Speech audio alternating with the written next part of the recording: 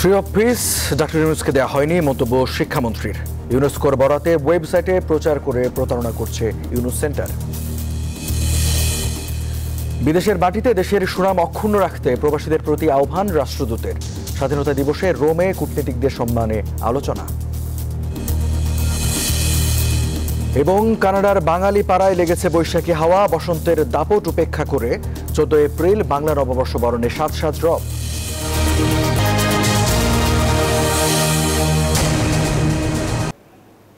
স্বাগত জানাচ্ছি প্রবাসী নিউজ টোয়েন্টি সংবাদে। সঙ্গে আছে আমি রঞ্জু ইফতেখার, দেখছিলেন সংবাদ শিরোনাম। এবার বিস্তারিত।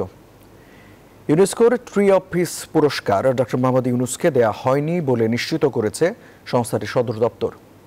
বাংলাদেশ ইউনেস্কো কমিশনের চেয়ারম্যান, শিক্ষামন্ত্রী মহিবুল হাসান চৌধুরী সচিবালয়ে ক্রয় সংক্রান্ত মন্ত্রিসভা কমিটির বৈঠক শেষে কথা জানান। ইউনুস সেন্টারের ওয়েবসাইটে এটি ইউনেস্কোর পুরস্কার হিসেবে প্রচার করা হয়েছে বলে জানান তিনি। এটা প্রতারণামূলক এবং বিভ্রান্তিকর মন্তব্য করে তিনি বলেন, ইউনেস্কোর সাথে যোগাযোগ করা হয়েছিল, তারা বলেছে এ ধরনের পুরস্কার দেয়া হয়নি। বাকুতে ইসরায়েলি একজন ভাস্করের দেয়া পুরস্কারকে ইউনুস সেন্টার, ইউনেস্কোর পুরস্কার বলে চালিয়েছে।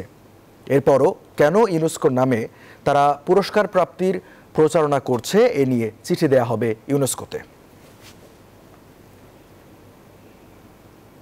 ডক্টর মোহাম্মদ ইউনুস তাকে ইউনেস্কো একটি পুরস্কার দিয়েছে বলে একটা প্রচার আমরা প্রচারিত একটা সংবাদ আমাদের দৃষ্টি আকর্ষিত হয়েছে, আমাদের দৃষ্টি আকর্ষণ হয়েছে। আমরা এই বিষয়টি নিয়ে একটু যখন ইউনেস্কো মূল যে সদর দপ্তর সেখানে যোগাযোগ করেছি, সেখান থেকে তারা আমাদেরকে নিশ্চিত করেছেন, ইউনেস্কো, ডক্টর মোহাম্মদ ইউনুসকে এই ধরনের, এই নামে কোনো ধরনের সম্মাননা দেননি। বিদেশের মাটিতে দেশের সুনাম অক্ষুণ্ণ রাখতে প্রবাসীদের প্রতি আহ্বান জানিয়েছেন ইতালিতে নিযুক্ত বাংলাদেশের রাষ্ট্রদূত মনিরুল ইসলাম। স্বাধীনতা দিবস উপলক্ষে রোমে কূটনৈতিকদের সম্মানে আয়োজিত অনুষ্ঠানে তিনি এ আহ্বান জানান। স্বাধীনতার পর থেকে ঢাকা রোম কূটনৈতিক সম্পর্ক আরও দৃঢ় হচ্ছে বলে জানান ইতালির পররাষ্ট্র মন্ত্রণালয়ের এক কর্মকর্তা। ইতালি থেকে এমডি রিয়াজ হোসেনের রিপোর্টে বিস্তারিত। সঞ্চালনায় বক্তব্য রাখেন ইতালিতে নিযুক্ত বাংলাদেশের রাষ্ট্রদূত মনিরুল ইসলাম। এই সংবর্ধনায় ইতালিতে নিযুক্ত বিভিন্ন দেশের রাষ্ট্রদূত ছাড়াও পররাষ্ট্র মন্ত্রণালয়ের জয়েন্ট সেক্রেটারি কস্তান্তিনি বিশেষ অতিথি হিসেবে উপস্থিত ছিলেন. রাষ্ট্রদূত মনে করেন, প্রবাসীদের দেশের জন্য গর্ব করার মতো কাজ করার আহ্বান জানান ভবিষ্যৎ প্রজন্ম যেন বুঝতে পারে যে এটা আমাদের পিতৃভূমি, এটা আমাদের মাতৃভূমি এবং আমিও এই গৌরবের অংশ, আমিও এই প্রবাসে থাকলেও আমি বাঙালি আমার রুটস, আমার ঐতিহ্য, আমার রক্ত সবকিছুর মধ্যে বাঙালিত্ব আছে। অনুষ্ঠানে কূটনীতিকরা বাংলাদেশের ভূয়সী প্রশংসা করেন। বাংলাদেশের সাথে আমাদের কূটনৈতিক সম্পর্ক খুব ভালো। পলিটিক্যাল এবং ইকোনমিক্যাল সম্পর্ক আরও গভীর হওয়ার জন্য বাংলাদেশে ইতালিয়ান অ্যাম্বাসিও কাজ করছে। অনুষ্ঠানে দুই দেশের জাতীয় সংগীত বাজানো হয়। দিবসকে উপলক্ষে কূটনৈতিকদের সঙ্গে নিয়ে কেক কাটা হয়. বাংলাদেশি কমিউনিটি খুব সৎ ও হার্ড ওয়ার্কিং এবং ইতালিয়ান আইন মেনে চলে যা আমরা অ্যাপ্রিসিয়েট করি. অনুষ্ঠানে দুই দেশের জাতীয় সংগীত বাজানো হয় এবং মুক্তিযুদ্ধের সকল শহীদদের স্মরণে এক মিনিট নিরাপত্তা পালন করা হয়। দিবসটি উপলক্ষে কূটনীতিকদের সঙ্গে নিয়ে কেক কাটা হয়। স্বাধীনতা দিবসের অনুষ্ঠানে রোম দূতাবাসের কর্মকর্তা কর্মচারী ছাড়াও আমন্ত্রিত ছিলেন বাংলাদেশ কমিউনিটির নেতৃবৃন্দ। Riaz Hossain, news twenty Rome, Italy. সফল নির্বাচনের মাধ্যমে সরকার গঠনের জন্য বাংলাদেশ সরকারকে অভিনন্দন জানিয়েছেন অস্ট্রেলিয়ার সহকারী প্রতিরক্ষা মন্ত্রী ম্যাট থিসেলওয়েট। ছাব্বিশে মার্চ রাজধানী ক্যানবেরায় বাংলাদেশ হাইকমিশন আয়োজিত অভ্যর্থনা অনুষ্ঠানে তিনি এসব কথা বলেন। বর্তমান সরকারের সাথে কাজ করতে প্রস্তুত বলে উল্লেখ করেন তিনি। তিনি বলেন, অস্ট্রেলিয়া ও বাংলাদেশের মধ্যে অত্যন্ত ঘনিষ্ঠ সম্পর্ক বিদ্যমান। অস্ট্রেলিয়ার উন্নয়নে প্রবাসী বাংলাদেশিদের ভূমিকারও প্রশংসা করেন তিনি।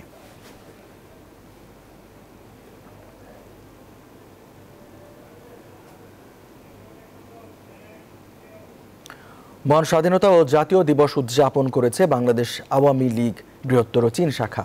স্থানীয় সময় মঙ্গলবার সন্ধ্যায় চীনের গুয়াংঝুতে দিবসটি উপলক্ষে নানা কর্মসূচির আয়োজন করা হয়। সংগঠনের সাংগঠনিক সম্পাদক পলাশ মাহমুদের সঞ্চালনায় সভাপতিত্ব করেন আওয়ামী লীগের চীন শাখার সভাপতি মোহাম্মদ জনি ব্যাপারী। অনুষ্ঠানে চীন আওয়ামী লীগের নেতাকর্মী সহ চীনে বসবাসরত ব্যবসায়ী, সমাজসেবক, অধ্যয়নরত ছাত্রছাত্রী এবং প্রবাসী বাংলাদেশিরা উপস্থিত ছিলেন।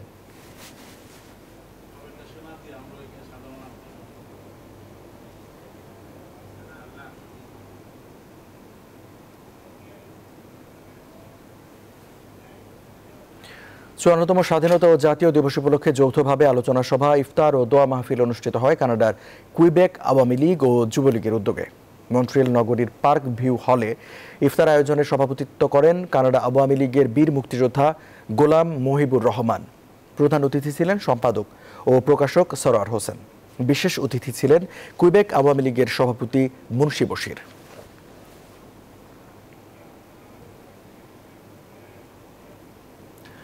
কানাডার বাঙালিপাড়ায় এখন বৈশাখ বরণের প্রস্তুতি। বসন্তের দাপট উপেক্ষা করে বাংলাদেশের সাথে মিল রেখে চোদ্দই এপ্রিল পহেলা বৈশাখকে বরণ করবে অভিবাসী বাঙালিরা। দিবসটি ঘিরে কোমলমতি শিশুদের মাঝেও ব্যাপক উৎসাহ উদ্দীপনা দেখা মেলে। কানাডার ক্যালগিরি থেকে লাইলা নুসরাতের পাঠানো তথ্য ছবি নিয়ে ডেস্ক রিপোর্ট। শীত, বসন্ত, গ্রীষ্ম ও হেমন্ত। চার ঋতুর দেশ কানাডায় এখন চলছে বসন্তের দাপট। তবে অভিবাসী বাঙালির মনে চলছে বাংলা নববর্ষ বরণের মহড়া। ঢাকার সাথে মিল রেখে পয়লা বৈশাখ বরণের রং লেগেছে কানাডার বাঙালি শহরে শহরে। প্রস্তুতি নিচ্ছে কানাডার বিভিন্ন সংগঠন। বর্ষবরণকে ঘিরে টরন্টোর সংগঠনগুলো আগে ভাগেই তৈরি করছে মুখোশ, ব্যানার, ফেস্টুন। কেউ আবার অপেক্ষায় মঙ্গল শোভাযাত্রার। আমাদের এখানে যে আর্ট কুইজ সংগঠন আছেন, যেখানে চারুকলা ছাত্রছাত্রীরা, চারুকলায় যারা পড়াশোনা করেছেন তারা, এমনকি আমাদের নেক্সট জেনারেশন সবাই মিলে আসলে নানা ধরনের ফেস্টুন, ব্যানার, প্রতিকৃতি বানানোর প্রক্রিয়া চলছে। প্রায় আজ এক মাস ধরে র্যালিটা শুরু হবে এবং মঙ্গল শোভাযাত্রা এটা শেষও হবে সেখানে। এবং তারপর সেই ডেন্টোনিয়া পার্কে ছোটখাটো একটা মেলার আয়োজন করার কথাও ভাবা হচ্ছে। টরন্টোর অন্যান্য সাংস্কৃতিক সংগঠনগুলো একযোগে সাংস্কৃতিক অনুষ্ঠান এবং বৈশাখী মেলার আয়োজন করতে যাচ্ছে। বাংলা পাড়ার ডেন্টোনিয়া পার্কে বৈশাখের সকল প্রস্তুতি সম্পন্ন হয়েছে। আসছে চোদ্দ এপ্রিল রোববার হওয়ায় টরন্টো বাংলা পাড়া জুড়ে থাকবে বর্ষবরণের আমেজ। গানে কবিতায় অন্ধকার বিতরণের আওয়াজ তুলবেন টরন্টোর Bangali community. Desk report news twenty four যুক্তরাজ্যের লেবার পার্টির আয়োজনে ইফতার ও দোয়া মাহফিল অনুষ্ঠিত হয়েছে। পঁচিশে মার্চ স্ক্রেপ্ট গ্রিনের একটি হলে ইফতারে সভাপতিত্ব করেন সংগঠনের চেয়ারম্যান আবু বক্কর। অনুষ্ঠানে উপস্থিত ছিলেন জিএলএ মেম্বার উমেশ দেশাই, সাবেক deputy mayor Matinuzzaman, council Sabina Akter, tower হ্যামলেটে Labour leader Sirajul Islam সহ অনেকে। আগামী জাতীয় নির্বাচন এবং স্থানীয় নির্বাচনে প্রার্থীদের কীভাবে বিজয়ী করা যায়, সেদিক নির্দেশনামূলক বক্তব্য প্রদান করা হয়।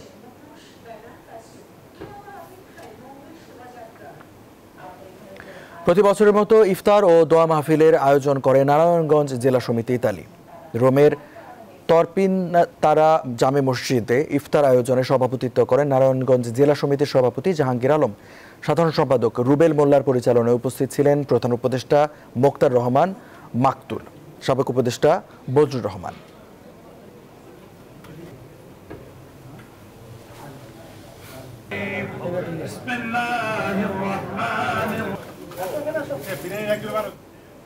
প্রবাসী কর্মহীন পঞ্চাশ জন প্রবাসী বাংলাদেশিকে এক মাসের ইফতার সামগ্রী বিতরণ করেছে Comilla friends club, Doha.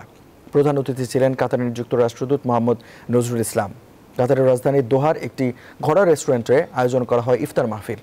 Shahjalal গাজীর সভাপতিত্বে উপস্থিত ছিলেন সাধারণ সম্পাদক আনোয়ার হোসেন সুমন, কাতার বাংলা প্রেস ক্লাবের সভাপতি ই এম আকাশ, সৈয়দ অনামিয়া, আবু বকর সিদ্দিক সহ অনেকে এরকম ইফতার করা কিংবা এই আজকাল কাতারে যে চাকরির একটি রুটিন চলছে সেখানে ওনারা কিছু বাংলাদেশি ভাইদের পাশে এসে দাঁড়িয়েছেন। সেই জন্য আমি মনে করি যে তাদের এই যে কাজটা উনিরা করলেন, সেটা একটা উদাহরণ হিসেবে থাকবে অন্যান্য সমস্ত অর্গানাইজেশনের জন্য।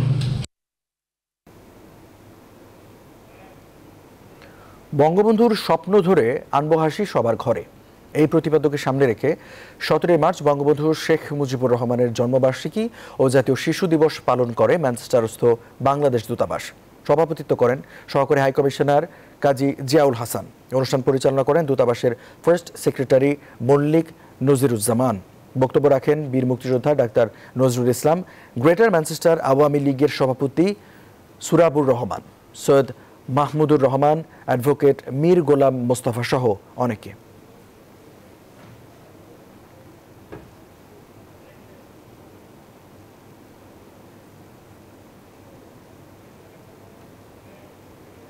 বিএনপির মালদ্বীপ শাখার উদ্যোগে দেশটির রাজধানী মালেতে এক ইফতার ও দোয়া মাহফিলের আয়োজন করা হয়েছে। সাতাশে মার্চ মালের তিন তারকা বিশিষ্ট একটি হোটেলে এই ইফতার অনুষ্ঠিত হয়। সঞ্চালনা করেন সাধারণ সম্পাদক মোহাম্মদ জহিরুল ইসলাম। মালদ্বীপ বিএনপির সভাপতি মোহাম্মদ খলিলুর রহমানের সভাপতিত্বে প্রধান অতিথি হিসেবে ভার্চুয়ালি বক্তব্য রাখেন বিএনপির কেন্দ্রীয় কমিটির আন্তর্জাতিক বিষয়ক সম্পাদক আহমেদ আলী মুকিব।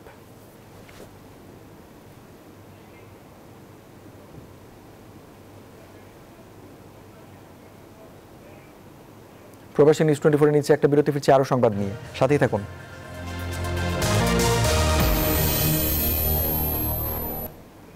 স্বাগত আরেকবার প্রবাসী নিউজ টোয়েন্টি ফোরে। কোনো মেজরের বাঁশির ফুঁতে বাংলাদেশ স্বাধীন হয়নি বলে মন্তব্য করেছেন প্রধানমন্ত্রী শেখ হাসিনা। বলেন, মুক্তিযুদ্ধের শুরুর দিকে পাকিস্তানিদের পক্ষ নিয়ে চট্টগ্রামে মুক্তিকামী জনতার উপর গুলি চালিয়েছিল জিয়া। তিনি বলেন মুক্তিযুদ্ধের সবচেয়ে বেশি মুক্তিযোদ্ধাকে জীবন দিতে হয়েছে জিয়ার দায়িত্বে থাকা সেক্টরে। বিএনপির সমালোচনা করে বঙ্গবন্ধু কন্যা বলেন, সত্যিকার অর্থেই ভারতীয় পণ্য বর্জন করতে চাইলে আগে বিএনপি নেতাদের বাসায় থাকা স্ত্রীদের শাড়িগুলো পুড়িয়ে ফেলা উচিত। স্বাধীনতা দিবস উপলক্ষে আওয়ামী লীগের এই আলোচনা সভা দলের ঢাকা জেলা কার্যালয়ে আলোচনা সভায় দলের কেন্দ্রীয় নেতাদের বক্তব্যে উঠে আসে বিএনপির ভারত বিরোধিতার কঠোর সমালোচনা এবং মেজর জিয়ার স্বাধীনতা ঘোষণার বিতর্ক প্রসঙ্গ। সভাপতির বক্তব্যে বিএনপি নেতাদের সমালোচনা করে শেখ হাসিনা বলেন, আওয়ামী লীগের নেতারা যদি পালিয়ে যায় তাহলে যুদ্ধটা করেছিল কে? সরকার গঠন এবং সেক্টর গঠন করে দায়িত্ব দিয়েছিল কে? তিনি বলেন, আওয়ামী লীগ সরকারের অধীনে জিয়াউর রহমান ছিলেন একজন বেতনভুক্ত কর্মচারী। ওদের কখনো মানে আটকেল ঠিকানা হবে না, আর না হওয়ার কারণও আছে। এখন তারা মুক্তিযুদ্ধের কথা বলে, এর মধ্যে অনেকেই তো মুক্তিযুদ্ধের, তারা কে ছিল, কোথায় ছিল? আজকে যিনি বলে যান যে পঁচিশে মার্চ সব পালিয়ে গিয়েছিল, তার বাবা কে ছিল? স্বাধীনতার পর চুয়াত্তর সালে যে দুর্ভিক্ষ হয় তখন খাদ্য সচিব ছিল। এই খাদ্য সচিব বেইমানি করে এই দুর্ভিক্ষ ঘটিয়েছিল। এই মঈন খানের বাবা তার নাম হলো মমিন খান। শেখ হাসিনা বলেন যখন বাংলাদেশের মুক্তিযুদ্ধ শুরু হয়েছিল তখন পাকিস্তানিদের পক্ষে চট্টগ্রামে মুক্তিকামী জনতার উপর গুলি চালিয়েছিল জিয়াউর রহমান। তার দায়িত্বে থাকা সেক্টরে বেশি মুক্তিযোদ্ধা এবং মুক্তিকামী বাঙালিকে জীবন দিতে হয়েছে বলেও উল্লেখ করেন শেখ হাসিনা। যারা ব্যারিকেড দিচ্ছিল জাতির পিতার আহ্বানে সাড়া দিয়ে তাদের উপর গুলি চালিয়েছিল পাকিস্তানি সেনাবাহিনী। আর চট্টগ্রামের সেই সেনাবাহিনীর দায়িত্বে জিয়াউর রহমান ছিল এবং জিয়াউর রহমানও যারা সেই সময় ব্যারিকেড দিয়েছে তাদের উপর গুলি চালিয়েছে। ভারতীয় পণ্য বর্জনে বিএনপির আন্দোলনের কঠোর সমালোচনা করে শেখ হাসিনা বলেন দলটির নেতারা ঘরে বাইরে সত্যিকারের ভারতীয় পণ্য বর্জন করছে কিনা তা জানতে হবে। আমি এখন বলব আমাদের এই বিএনপি নেতাদের যারা যারা ভারতীয় পণ্য বর্জন করবেন, সবার বাড়িতে যে তার বউরা যেন কোনো মতে কোনো ভারতীয় শাড়ি না পরে, তাদের আলমারিতে যে কটা শাড়ি আছে, সব এনে যেদিন ওই অফিসের সামনে পড়াবেন সেই দিন বিশ্বাস করব যে আপনারা সত্যিকার ভারতীয় পণ্য বর্জন করলেন। শেখ হাসিনা বলেন আওয়ামী লীগ সরকার রাষ্ট্র পরিচালনার দায়িত্বে থাকলে দেশের মানুষের ভাগ্যের পরিবর্তন হয়। তাই দলীয় নেতাকর্মীদের সাধারণ মানুষের পাশে থাকারও নির্দেশ দেন তিনি। বিএনপিকে পেলেই কিন্তু বলবেন বৌদের শাড়ির কথা আর মশলার কথা জয়দেব দাস নিউজ টোয়েন্টি ঢাকা। জিয়াউর রহমানের স্বাধীনতার ঘোষণাকে যারা বিতর্কিত করতে চায় তাদেরকে স্বাধীনতা বিরোধী শক্তি বলছে বিএনপি। দলটির মহাসচিব মির্জা ফখরুল ইসলাম আলমগীর বলেন আঠাইশে অক্টোবর তরুণদের রাজপথে নামাতে না পারায় বিএনপি আন্দোলনের গতিপথ হারায়। বাস্তবতার আলোকে আন্দোলনে নতুন কৌশল নেয়ার কথাও জানান বিএনপি মহাসচিব। মহান স্বাধীনতা ও জাতীয় দিবস উপলক্ষে রাজধানীর ইঞ্জিনিয়ারিং ইনস্টিটিউশনে আলোচনা সভার আয়োজন করে বিএনপি। এতে যোগ দেন বীর মুক্তিযোদ্ধা থেকে শুরু করে বিএনপির বিভিন্ন স্তরের নেতাকর্মীরা। বাংলাদেশের মানুষ। অনুষ্ঠানে বিএনপি নেতারা অভিযোগ করেন দেশের স্বাধীনতা দিবস উদযাপনের পরিস্থিতি নেই। শেখ মুজিবুর রহমান অনেক বড় মাপের নেতা তাকে আমরা শ্রদ্ধা করি সম্মান করি। কিন্তু সকল কৃতিত্ব একজনকে দিবেন। বুকে রক্ত ঢেলে জীবন বিপন্ন করে ঘর বাড়ি পরিবার পরিজন ফেলে নয় মাস যারা যুদ্ধ করেছে তারা কি একটু কৃতিত্ব পেতে পারে না? এই ঘোষণা জিয়াউর রহমানের ঘোষণা দেশবাসীকে আন্দোলিত করেছে কেন আমরা কি কারণে কোন উদ্দেশ্যে স্বাধীনতা দিবস উদযাপন করব? আমি আজকে সেটা বুঝতে পারি না। আমরা একটি দেশ চাই দেশে গণতন্ত্র থাকবে। বিএনপি মহাসচিব বলেন স্বাধীনতার ঘোষণা দিয়ে দিশেহারা জাতিকে মুক্তিযুদ্ধে উজ্জীবিত করেছেন জিয়াউর রহমান। স্বাধীনতা যুদ্ধের ঘোষণা শহীদ প্রেসিডেন্ট জিয়াউর রহমান সাহেব দিয়েছিলেন। এ ব্যাপারে কোনো বিতর্ক হতে পারে না। কারণ সেটা বিতর্কিত করতে গেলে বাংলাদেশের স্বাধীনতা যুদ্ধকেই বিতর্কিত করতে হবে। আজকে যারা এটা করছেন তারা মূলত পক্ষে স্বাধীনতার পক্ষে শক্তি নয় আঠাশে অক্টোবর পর আন্দোলনে গতি হারানোর জন্য তরুণ নেতাকর্মীদের উপর দায় চাপান মির্জা ফখরুল। আঠাশ তারিখে ঘটনার পরে আমার কাছে মনে হয়েছে যে আমাদের তরুণদেরকে আমরা বোধহয় সেইভাবে নামাতে পারি আমার কাছে মনে হয়েছে মানুষকে জাগিয়ে তোলা এটা এখন আমাদের প্রধান কাজ। আমাদের একমাত্র কাজ এখন যেটা মনে হয় যে মানুষকে আবারও সংগঠিত করতে হবে। সরকারের ব্যর্থতার কারণে খাদ্যপণ্যের উচ্চমূল্য যে কারণে মানুষ এই রমজানে একবেলা খাচ্ছে এমন অভিযোগ তোলেন বিএনপি নেতারা। বলতে এসেছি। Arifin Shakil news twenty Dhaka. বুধবার দুপুরের পর থেকে অসুস্থ বোধ করছিলেন খালেদা জিয়া। এজন্য মেডিকেল বোর্ড তার স্বাস্থ্য পরীক্ষা করেছেন। এখন খালেদা জিয়া অনেকটা সুস্থ বোধ করছেন। বাসাতেই মেডিকেল বোর্ডের তত্ত্বাবধানে চিকিৎসা নেবেন বলে জানিয়েছেন তার ব্যক্তিগত চিকিৎসক doctor A Z M Zahid Hossain. ওনাকে যে মেডিকেল বোর্ড বেশ কয়েকবার ওনার স্বাস্থ্য পরীক্ষা করেন এবং ওনার কিছু পরীক্ষা নিরীক্ষা ইতিমধ্যেই করানো সম্ভব হয়েছে। আপাতত উনি মেডিকেল বোর্ডের তত্ত্বাবধানে বাসাতেই সার্বক্ষণিক পর্যবেক্ষণে থাকবেন। এখন অনেকটাই উনি সুস্থতা বোধ করছেন দেশবাসীর কাছে, উনি দোয়া চেয়েছেন। দেশের পড়াশোনার মান কমে যাচ্ছে, তাই বিপুল সংখ্যক তরুণ বেকার। কর্মসংস্থানের অভাবে তারা হতাশ হয়ে পড়ছে। এমন মন্তব্য করেছেন বিরোধী দলীয় নেতা ও জাতীয় পার্টির chairman G M Quader. Institution of diploma ইঞ্জিনিয়ার্সের multipurpose মিলনায়তনে জাতীয় ছাত্র সমাজের প্রতিষ্ঠাবার্ষিকীর অনুষ্ঠানে তিনি এসব কথা বলেন। জাপা চেয়ারম্যান আরও বলেন এতে মাদকাসক্ত প্রজন্ম যেমন তৈরি হচ্ছে, আবার অনেক তরুণ দেশের বাইরে পাড়ি দিচ্ছেন। তাদের অভিযোগ করেন, দেশের স্বাস্থ্য খাতে নৈরাজ্যকর অবস্থা চলছে, ফলে দেশের মানুষ বিদেশে চিকিৎসা নিতে বাধ্য হচ্ছেন। হাজার হাজার কোটি টাকা খরচ করা হচ্ছে, কিন্তু সেই খরচের সুফল দেশের জনগণ পাচ্ছে না। বন্ধ হয়ে পড়ে থাকে কোনোদিন খোলা খোলা হয় না। আর এক একটা বিল্ডিং করা হচ্ছে বড় বড় বিল্ডিং কিন্তু সেখানে ইকুইপমেন্ট নেই। ইকুইপমেন্ট থাকলে ডাক্তার নেই। শেষ পর্যন্ত গিয়ে মানুষের চিকিৎসা পায় না। প্রবাসী নিউজ টোয়েন্টি নিচ্ছে আরেকটা বিরতি, ফিরছে একটু পর। সাথেই থাকুন।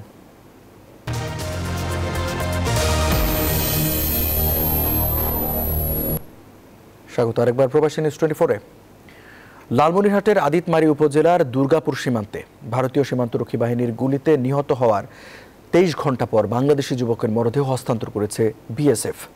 বুধবার রাত সাড়ে দশটার পতাকা বৈঠকের মাধ্যমে বিএসএফ নিহতের মরদেহ বিজিবির কাছে হস্তান্তর করে বলে পনেরো বিজিবি ব্যাটালিয়নের অধিনায়ক লেফটেন্যান্ট কর্নেল মোহাম্মদ মোফাজ্জল হোসেন আকন্দ নিশ্চিত করেন। তার আগে পৌনে চারটার দিকে বিজিবি বিএসএফ এর স্ট্যান্ডার্ড বৈঠকের পর এই সিদ্ধান্ত হয়। মঙ্গলবার রাত এগারোটায় ভারতের কুচবিহার জেলা সদরের এম জে এন নামে একটি হাসপাতালে চিকিৎসাধীন অবস্থায় তার মৃত্যু হয় বলে নিশ্চিত করেছে বিজিবি।